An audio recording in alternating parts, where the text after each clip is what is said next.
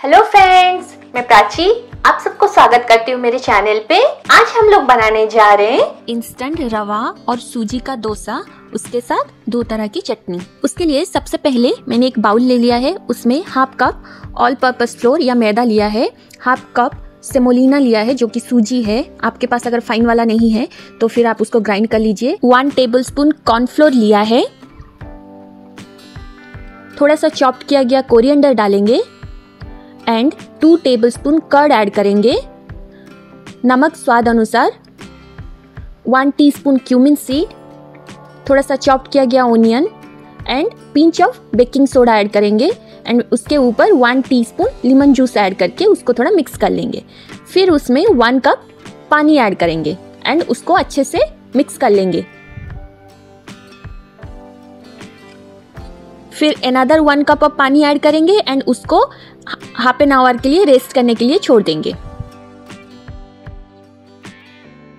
उसी बीच हम चटनी बनाना स्टार्ट करेंगे। उसके लिए मैंने एक यहाँ पे तवा ले लिया है, चना डाल डाला है one fourth cup grated coconut डालेंगे थोड़ा सा चॉप किया गया कोरिएंडर लिप्स डाल लेंगे, उसके डंठल के साथ। फिर एक से दो ड्राई चिली ऐड करेंगे एंड उसको थोड़ा सा स्लो फ्लेम पे फ्राई करेंगे। थोड़ा सा फ्राई कर लेने के बाद सारे मिक्सर को हम ग्राइंडिंग बाउल में निकाल लेंगे। फिर उसमें थोड़ा सा चॉप किया गया अदरक का टुकड़ा ऐड करेंगे एंड पानी ऐड करके उसको एक फाइन पेस्ट की तरह ग्राइंड करेंगे। फिर उसको एक बाउल में निकाल लेंगे एंड उसमें थोड़ा सा नमक ऐड करेंगे एंड वन टेबल स्पून इमली का सॉस ऐड करेंगे।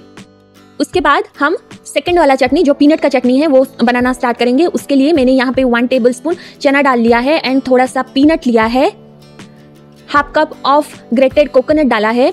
And one two two dry chilli add करेंगे half teaspoon cumin seed add करेंगे and salt as per taste add करके उसको हम थोड़े टाइम के लिए फ्राई करेंगे फिर सारे मिक्सर को थोड़ा सा ठंडा कर लेने के बाद हम इसको ग्राइंडिंग बाउल में निकाल लेंगे एंड उसमें छोटा सा अदरक का टुकड़ा डालेंगे एंड थोड़ा सा रॉ वाला इमली पल्फ डालेंगे एंड उसको फाइन पेस्ट की तरह हम उसको ग्राइंड कर लेंगे।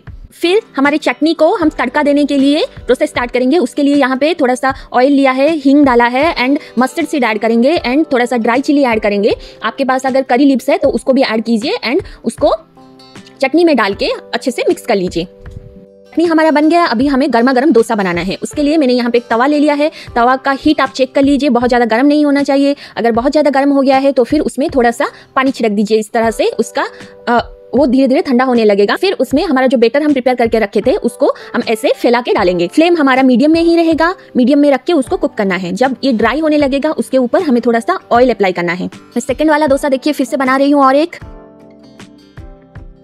ड्राई हो गया, अभी उसमें ऑयल ऐड किए फ्लेम को हमारा बिल्कुल स्लो टू मीडियम फ्लेम पे रखिएगा, फिर उसको धीरे धीरे से साइड में से निकालिए। क्योंकि ये बहुत ही इजी है एंड बहुत ही जल्दी बन जाता है तो फिर आप मॉर्निंग में या फिर इवनिंग स्नैक्स के लिए आप इसको झटपट बना के गर्मा गर्म सर्व कर सकते हैं विथ चटनी के साथ।